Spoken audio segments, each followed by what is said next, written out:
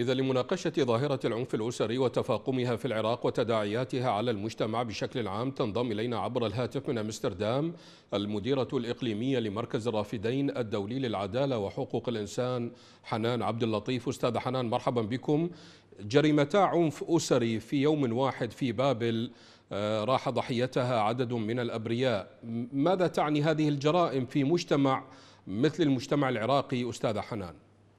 أهلا وسهلا أخي. حياكم الله وحيا مشاهديكم الكرام. آه سيدي الكريم آه طبعا المجتمع العراقي كان قبل 2003 قبل الاحتلال رغم تنوع نسيج المجتمعي من أكثر المجتمعات المتماسكة اسريا. يعني في, في سواء في مجتمع المدينة والريف أو البادية أو في المجتمع المسلم أو المجتمعات غير المسلمة. العراقيون الآن كل يوم يعيشون الصدمة جراء هذه الجرائم المروعة. يعني آه، قبل فترة آه، رأينا أم تلقي بأطفالها في نهر دجلة. أب يقتل أبناء وزوجته ثم ينتحر. ابن يحرق أبويه. وقبل عدة أشهر سمعنا بقصة الأم الذي استدرجها ولدها لعصابة بيع الأعضاء البشرية وهربت منه واستنجدت بالدولة. طبعا هذه الجرائم هي دخيلة على المجتمع العراقي. ولم يراها إلا بعد الاحتلال الأمريكي الإيراني وانتشار الميليشيات. طيب أستاذة حنان آه، لو نتحدث بلغة الأرقام يعني الأمم المتحدة أكدت تعرض ما يقرب من 30% من النساء العراقيات لجميع أشكال العنف العام الماضي. لكن السؤال الذي يطرح هنا ما الذي أوصل الأمور لهذه الدرجة الذي تطورت من مرحلة التعنيف إلى قتل أفراد الأسرة ثم الانتحار آه، كما حصل على سبيل المثال في منطقة إسرائيل وقضاء المسيب من الذي أوصل الأمور إلى هذه الحال؟ نعم بالتأكيد السبب الأول هو ضعف الدولة وعدم قدرة المؤسسات التنفيذية على تطبيق القانون وضعف الأجهزة الأمنية بسبب انتشار الميليشيات وانتشار السلاح الميليشيات المتنفذة في الدولة طبعا. آه، يعني ميليشيات تهدد رئيس وزراء بقطع أذنيه نعم. ولم يتخذ بحقها أي إجراء ولم يلقي القبض على عناصرها وتهدد الأمن الوطني والسلم المجتمعي ودول الجوار. إضافة إلى انتشار المخدرات آه، في المجتمع.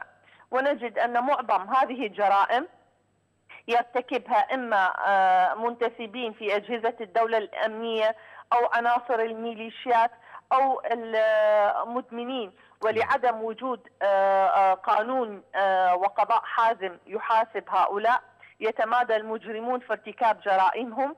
والغريب بالأمر نرى والغريب بالأمر إنه لا لا نرى ضغط من الهيئات الدولية والمجتمع الدولي على الحكومة العراقية أو فرض آه، العقوبات بسبب ملف حقوق الإنسان كما يحصل مع دول أخرى. نعم. أستاذ حنان هناك من يحمل الواقع التعليمي والجهل والفقر والبطالة مسؤولية ما يحصل من عنف أسري في العراق. ولكن ألا تتحمل الحكومة المسؤولية لا سيما مع فشلها بمعالجة الأوضاع الاقتصادية والمعيشية؟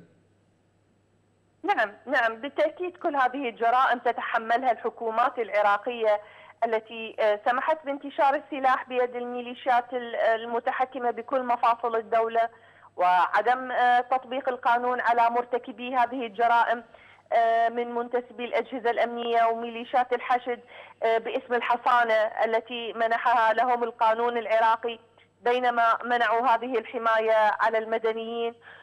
وخير مثال آه، آه، جرائم الرائد عمر نزار الذي قام بإعدامات خارج إطار القضاء نعم. وقتل واغتصابات وانتهاكات بحق العراقيين واجمعت جميع تقارير المنظمات الحقوقية الدولية وأكدت على جرائم التي ترتقي إلى جرائم ضد الإنسانية لكن القضاء العراقي قام بتبرئته فنجد أن الحكومات هنا متواطئة أيضا مع آه، آه، مع آه، نعم. هؤلاء المرتكبي الجرائم وأيضا مع عصابات الاتجار بالمخدرات التي التي نشرته في كل العراق في, في هذه النقطة في هذه النقطة أستاذة حنان نعم. يعني العراق تحول إلى منفذ لتجارة وبيع المخدرات من قبل الميليشيات الموالية لإيران آه، كيف أسهم بهذا الاختلال الاجتماعي وسط غياب معالجات توعوية وقانونية ضد المروجين وأيضا ضد المتعاطين بآن واحد؟ نعم بالتأكيد انتشار مافيات بيع المخدرات في العراق والتي يتاجر بها عناصر متنفذة آه، في ميليشيات الحشد ومسؤولين وأبناء المسؤولين في الدولة مع آه، غياب الإرادة الحكومية في القضاء على هذه العصابات. وجميع العراقيون شاهدوا يعني مشكلة الضابط علي الشياع الذي ألقى القبض على معمم إيراني مسك متلبسا وبحوزته مخدرات وكريستال فجرى معاقبته من قبل أجهزة الدولة لأنه تعرض إلى شخصية إيرانية مقدسة وحاولوا إجباره لتقديم اعتذار إلى القنصل الإيراني لكن رفض. هنا نرى أن الدولة متواطئة مع هذه العصابات الحكومية العراقية والإيرانية. وبدل من أن تقوم الدولة باعتقال المتعاطي آه، آه، يعني آه، اعتقال المتعاطين هذا ليس حلا. يعني يجب عليها أن تجفف منابع هذه التجارة بمنع دخولها ومحاكمة الرؤوس الكبيرة المتاجرة بها وفتح مراكز صحية لإعادة تأهيل المتعاطين وليس سجنهم وتحسين الوضع الاقتصادي للفرد العراقي. نعم, نعم.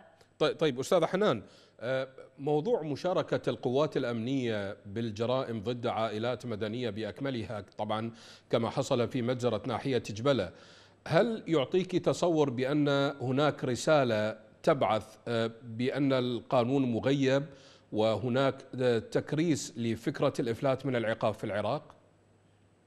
بالتأكيد بالتأكيد. مثل ما ذكرت سابقا ضعف الدولة وقانون الحصانة الذي منح لمنتسبي الأجهزة الأمنية وميليشيات الحشد الشعبي وتسييس القضاء والفساد المستشري الذي جعل آه، ضباط يبتزون المعتقلين وأهاليهم أو يلفقون التهم الباطلة من أجل الحصول على الأموال. آه، طبعا وحادثة جبلة ليست وحدها شاهدة على عدم جدية الحكومات العراقية في التعامل مع هذه الجرائم التي يرتكبها منتسبو الأجهزة الأمنية. هناك معتقلون معتقلون اعترفوا على أنفسهم بسبب التعذيب واستخدام العنف. وحادثة الرجل الذي أبلغ عن اختفاء زوجته ووجد نفسه متهم بقتلها وحكم عليه بالإعدام آه، يعني لولا لطف الله أن عادت زوجته إلى المنطقة لتفضح اجراءات الإجراءات الأمنية التي تقوم بها الحكومة، كل هذه العوامل ساهمت في افلاس عناصر القوات الأمنية من العقاب. من أمستردام المديرة الإقليمية لمركز الرافدين الدولي للعدالة وحقوق الإنسان حنان عبد اللطيف شكرا جزيلا لكم